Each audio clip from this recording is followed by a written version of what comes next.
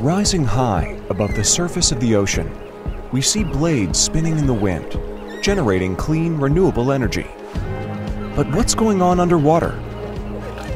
Diving in, we see a whole new world of marine habitat. When hard structures like wind turbines are put in the ocean, fish, shellfish, and many other kinds of marine life move in.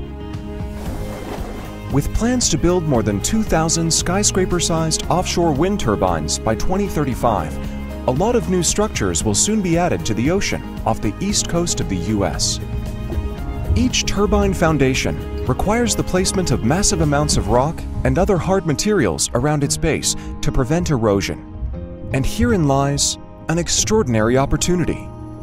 If scientists and engineers intentionally choose the right erosion protection materials and purposefully place them, we can make many more spaces where marine life prefer to live, eat, and reproduce.